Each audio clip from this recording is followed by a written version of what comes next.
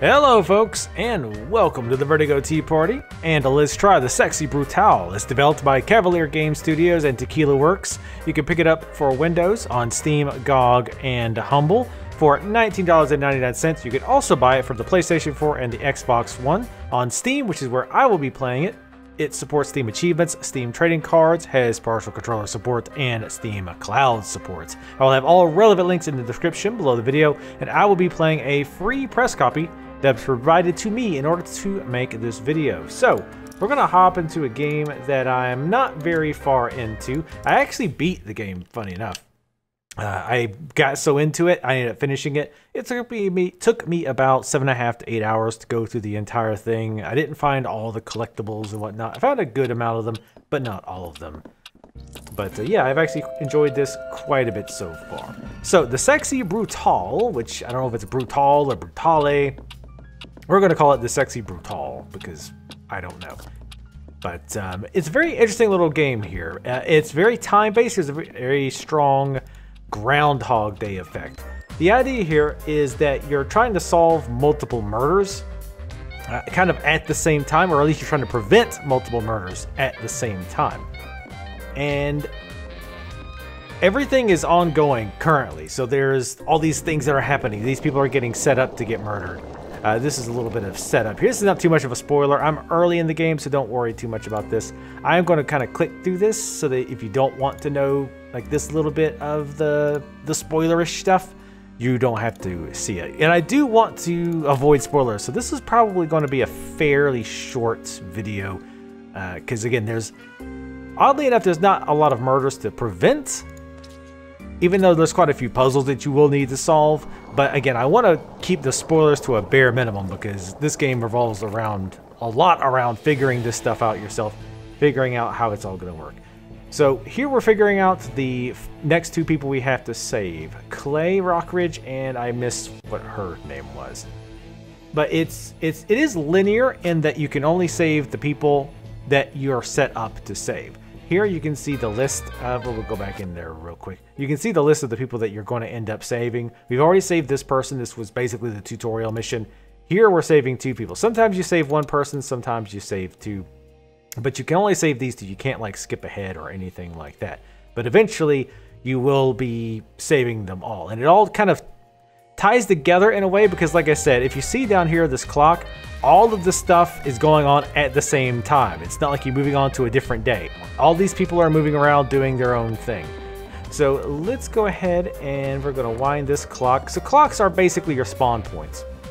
From here, when the day's over, which is it over, it is over at midnight, you respawn at whatever clock that you're bound to, let's just say. Uh, and you can rebind by using your uh, pocket watch that you get early on in the game here.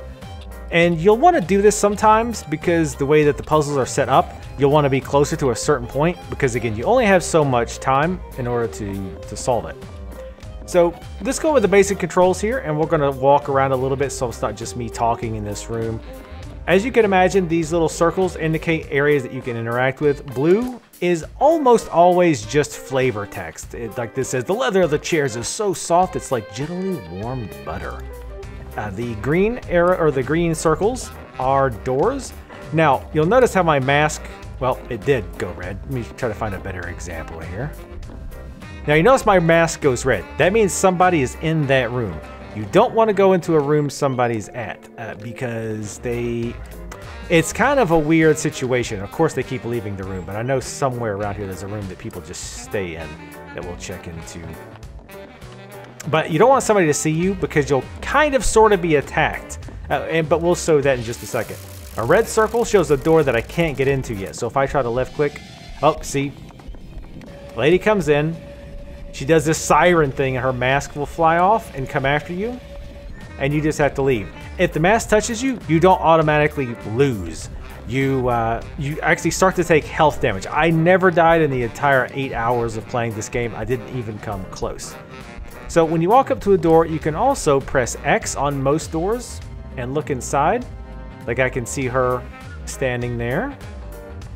We can see what she says because of course if you're looking somewhere you can of course see what they say. So let's follow her. We want to see what she's doing. She's one of the people that we're trying to save, but again we can't go to her directly So we see her typing, but that means that we can't hear what she's typing in there.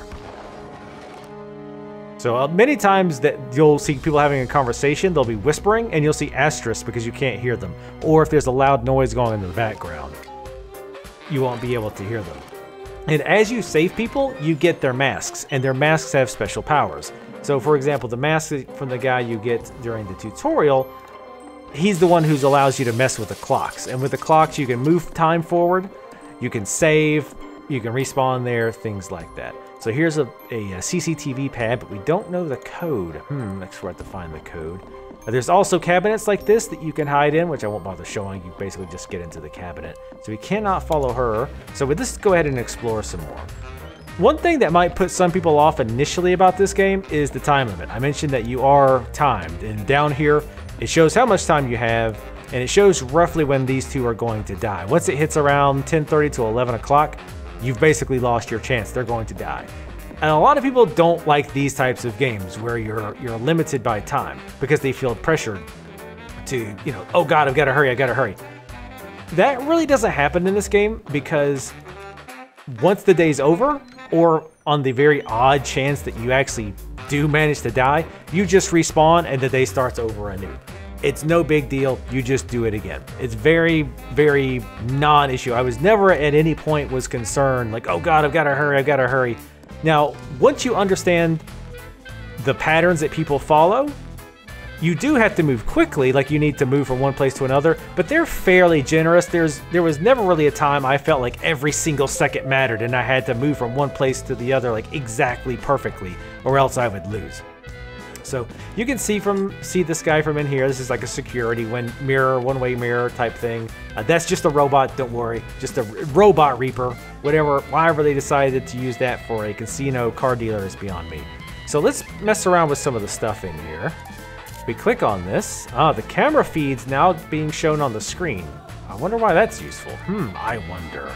So again, you can kind of click around, and again, most of the stuff, most of the blue things are just uh, like, like flavor, and they turn kind of a light blue when you looked at them, which is nice because, you know, you don't want to keep doing the same thing repeatedly here. You've learned the code to activate the CCTV cameras. All right, that was from here. I actually forgot that was important. So that has the code for the cameras. Now, any items that you pick up are lost when the day is over. Oh. So apparently there was a guy, there was somebody in here, and I just barely missed them. But that does not open the doors. So let's just wander around the, the mansion a little bit more and talk a bit more about the mechanics of the game. So here, like I can uh, turn this camera off if I wanted to do so. You can see the camera turned off. Oh, and it dropped a card. For some reason, a playing card was on top of it. Now, these cards are just purely like a collectible. I think once you get all of them, there is something that you can do. But I won't uh, I won't uh, tell you what that is just yet. I didn't get all the cards, so I haven't actually been able to do it, but I found the character who kind of tells you what's up. So, I, again, I'm trying to show you kind of these these mechanics without uh, without spoiling too much. I do want to kind of look around more so you can see the areas of the mansion. This mansion is quite large, and it does a pretty good job of, of keeping you limited without letting you wander too much. So you're not going to spend a ton of time wandering around this huge mansion trying to figure out the like one or two items that you need to find in order to solve the puzzle, right? They they keep you fairly limited. Now as you save more and more people and get access to more and more of the mansion, it is possible to backtrack all the way back to the beginning, but generally speaking, you should almost never have to do that. It's very rare that I remember having to do that. And usually it was it was pretty obvious. The puzzles have been mostly pretty easy. Let's see what's in this door. Come on, go over here. Oh.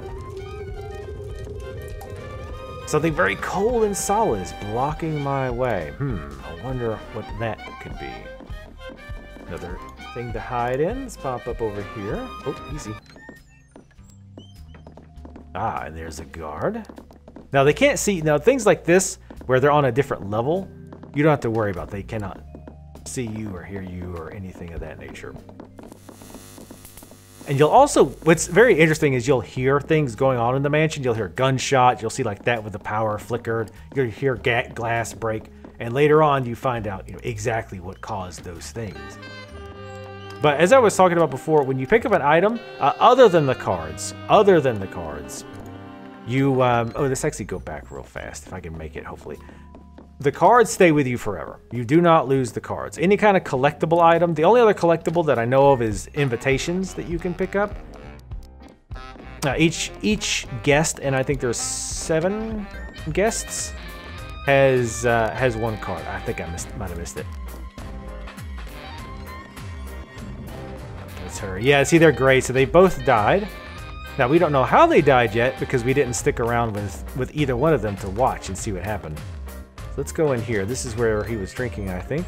Oh, yep. Well, he's dead. That's not good. But we can grab this card. And again, that's just a robot, so we don't have to worry uh, too much about that. We can go over here and check him. Oh, we got his invitation. So, I mean, he's dead, but, you know, that's fine.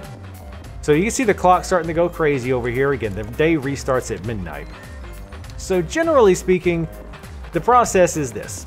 A day starts, and you have to walk around. You have to find out the people you're find the people you're trying to save. Find out where the employees are, because it's the employees who are doing the the murdering. So it's obvious who to look out for. So the first day you're trying to figure out, okay, where are my people at? Where are the people that I'm trying to save? What's their pattern? Where are they going? What are they saying? What are the employees around them saying and doing?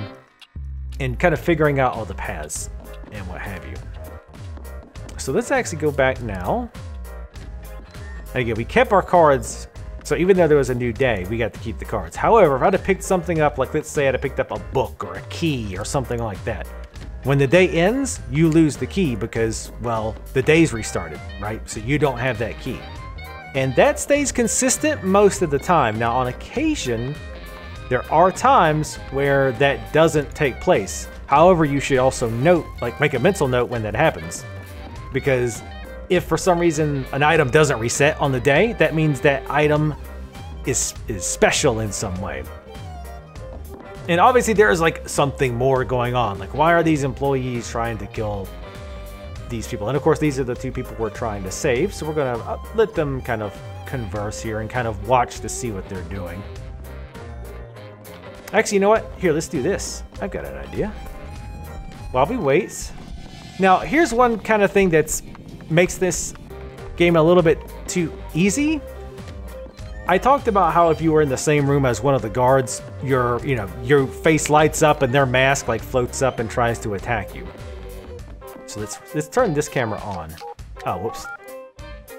Let's actually turn that back off for very specific reasons.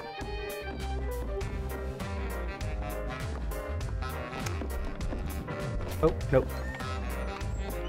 Uh, okay, we were lighting up because somebody was coming in. So let's actually watch and see what happens this time. I'm sorry, but you're not allowed. This room is off limits. Off limits? Since when are rooms off limits? Well, it's a surprise, ma'am. Ah, now what have I said? Dash it all. A surprise? Oh, don't worry, I wouldn't want to ruin any surprises. I wish you sounded more sincere, ma'am. I can virtually hear something something. This music's gonna get stuck in your head, by the way.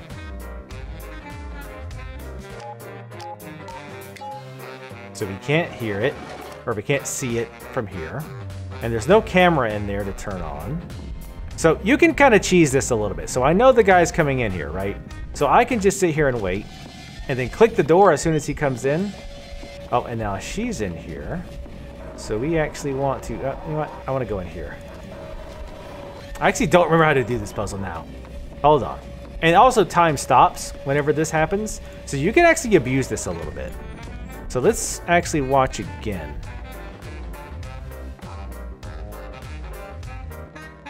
Let's see what she says. I thought she... Mm.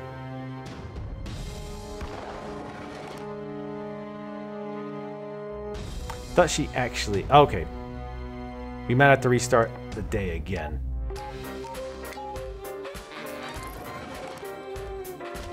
Because as I was say, I think we watched her go all the way in last time.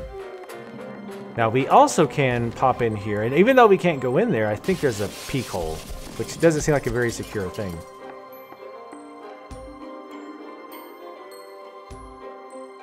So she's hanging out in there. We're not going to watch this whole sequence again because there's there's some fairly interesting spoilers in here. All right. So we kind of messed that up, I think. So let's do this. We're going to restart the day.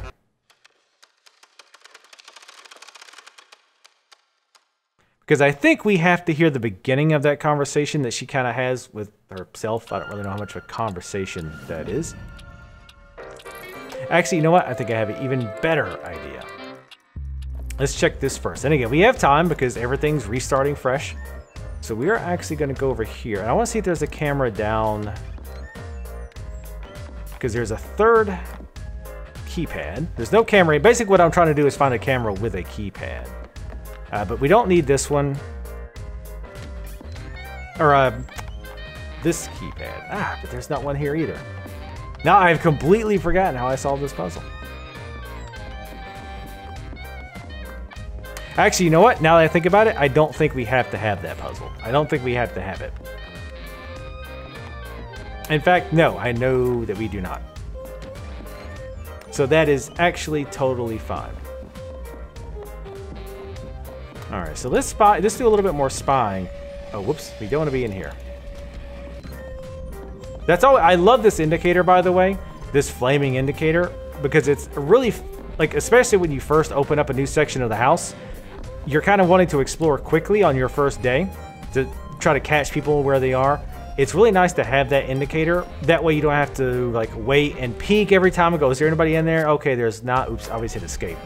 There's not anybody in there. Okay, I can shift out. You can just walk up to it, and if your face flashes, you know to peek. If it doesn't flash, you know that you can just go into that room. I like that quite a bit. Let's actually go in here because she's about to come in there. And we'll spy on her a little bit.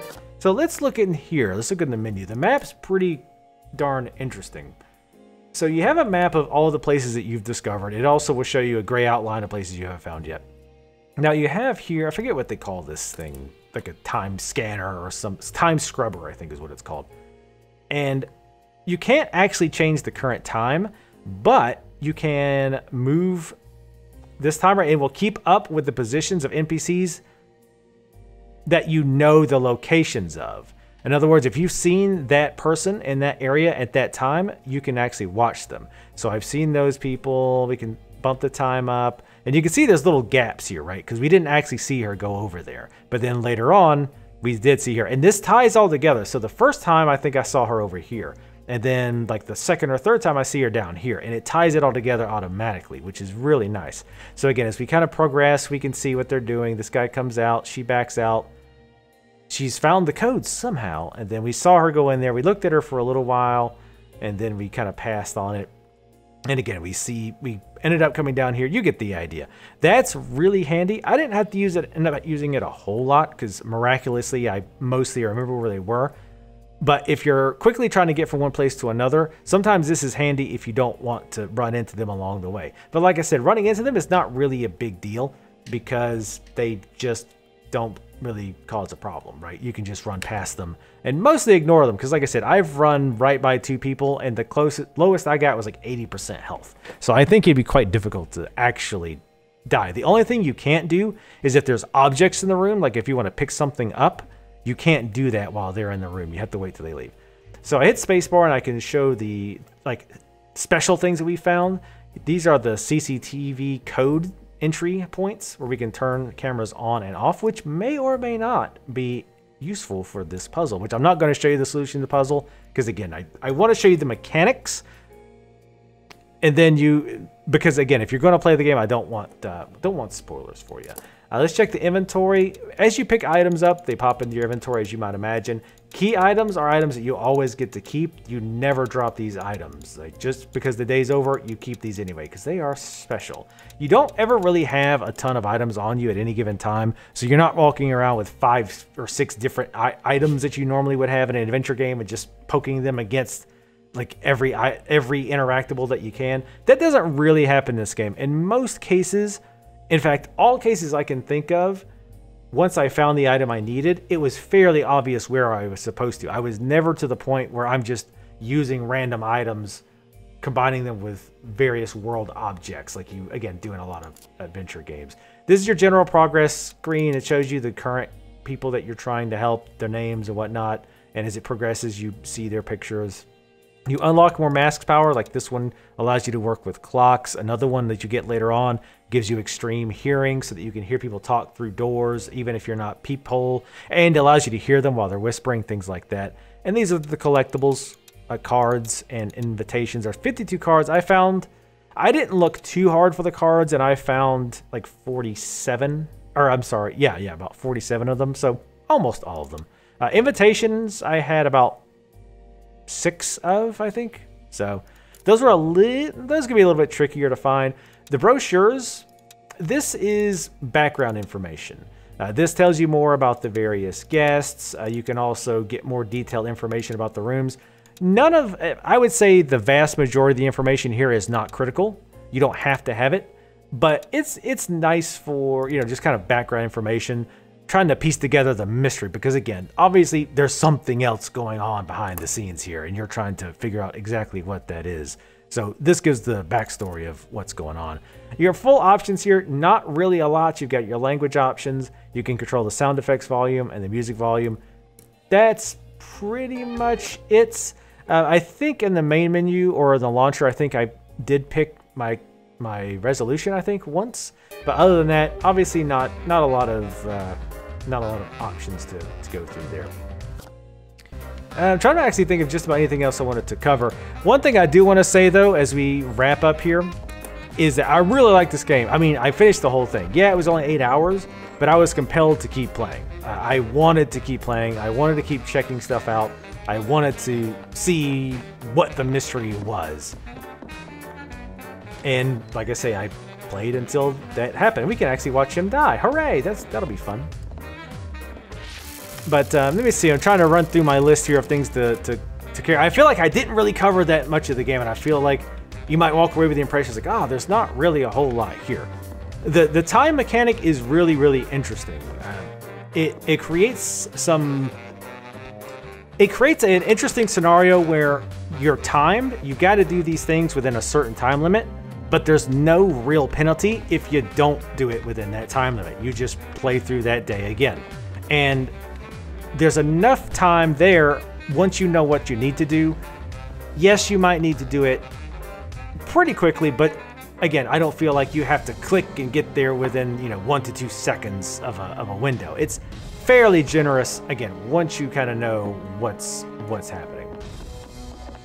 He's taking another drink. I'm sure he'll be fine. Yeah, he looks like he can handle his drinks. He's totally, totally cool. But I really like this game. The the music's pretty uh, is is good and catchy. Like I had this this little I had that in my head all freaking day. Just just so you know, game developers, in case you're listening to that, uh, I I could not get it out of my head for good or for ill. But uh, the pacing is pretty slow. In that you have to backtrack a pretty good bit.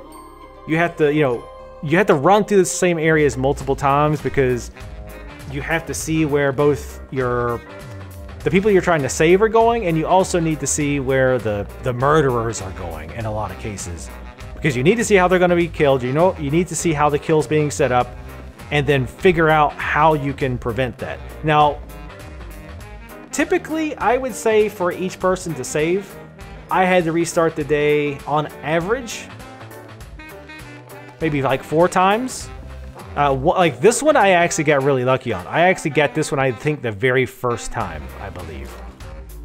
Uh, I think this one is very generous though with the, the time frame as well. It is only the first one you're. This is the first mission you're kind of doing by yourself though, so this one's very generous, and I think that's probably why I got it on the first try. Uh, excluding this one, on average, I probably had to restart like five times. So again, it's not bad.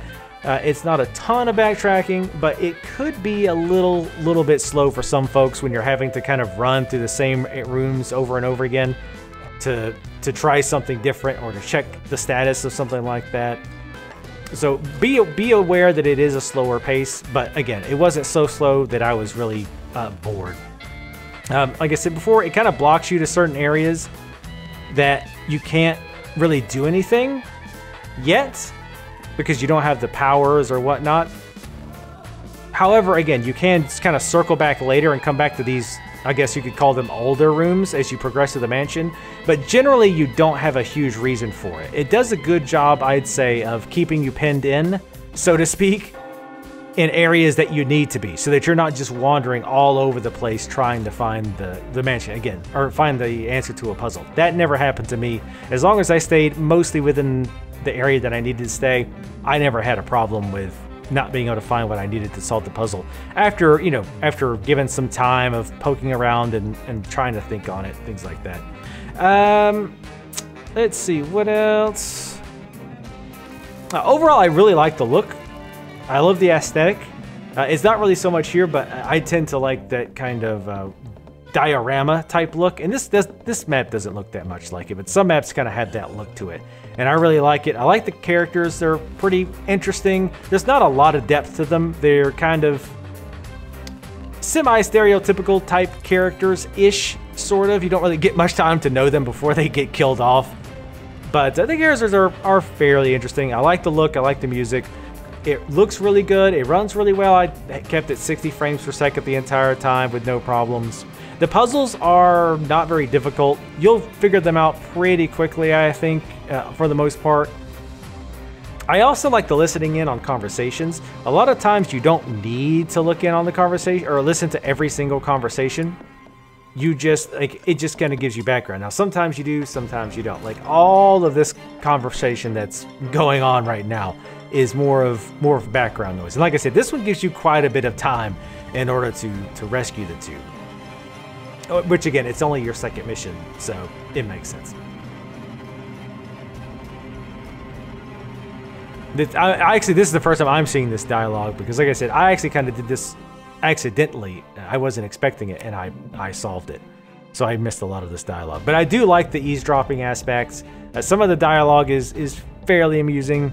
Nothing, no knee slappers, but uh, it was it was pretty pretty entertaining. One thing I would say I was disappointed in is that I thought there was multiple ways that you could save people.